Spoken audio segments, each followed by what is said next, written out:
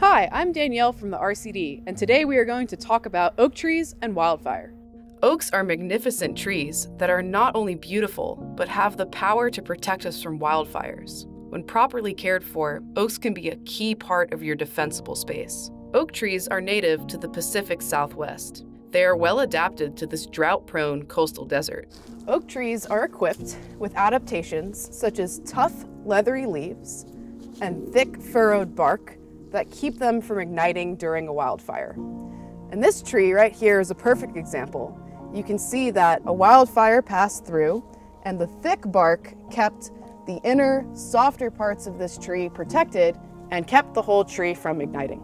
Your oak trees, uh, they actually are very hardy when it comes to wildfire. They usually need something else nearby underneath to ignite. So as long as you're keeping your ground fuels away, they will actually help uh, at times slow a fire down. In Southern California, the two most common species of oak found in the wildland-urban interface are the valley oak and coast live oak. Here, we have a coast live oak. Coast live oaks, or Quercus agrifolia, can be identified through their dark green, leathery leaves, which have spikes along the edge and have a little bit of a roundness to them. The canopy of a coast live oak is dome-shaped. The branches are gnarled and twisted. They will even shoot down large branches towards the ground, giving the tree stability. The other species is the valley oak, Quercus lobata. It can be identified by larger lobed leaves that are bright green and deciduous, meaning they change color and drop in the fall. Their canopies also tend to be higher and more spread out. Speaking of canopies, in some cases, oak trees can act as an ember catch. Small embers are caught within the dense foliage of the tree and extinguished. This can act as a protective barrier between flying embers and a structure. This is extremely important during high wind conditions such as Santa Ana's, where embers can fly for miles beyond a burning front. Like any tree species on your property, how oak trees are cared for will impact their ignition resistance.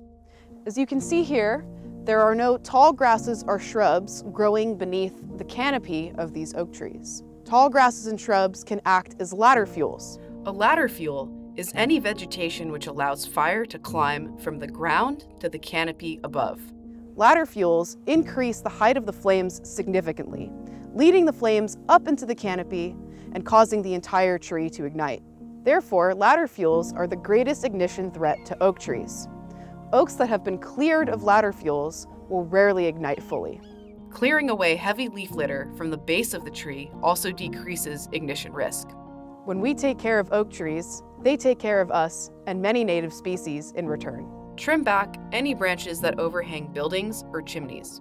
Lastly, watch for signs of disease and call an arborist when needed. Before trimming an oak tree branch that is larger than 2 inches in diameter, make sure to get a permit. A healthy tree is less likely to ignite than a sick one. Some common signs of illness and stress include patches of the bark that are falling away, and a majority of the foliage being brown or yellow.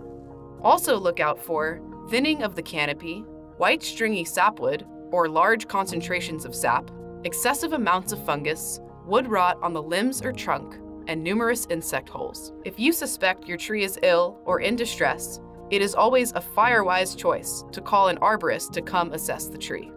If you see an oak sapling, you can help protect the next generation of oaks. Oak saplings should be caged to prevent them from being eaten by herbivores.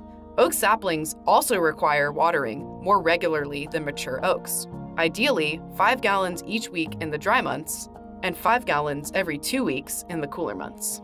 Oak trees provide shade, clean air, and vital support to an extraordinary 5,318 different species, more than any other North American tree. Oak trees are a keystone species of their native environment. For more information on oak trees and how to care for them, please explore the links attached to this video. Thanks for watching!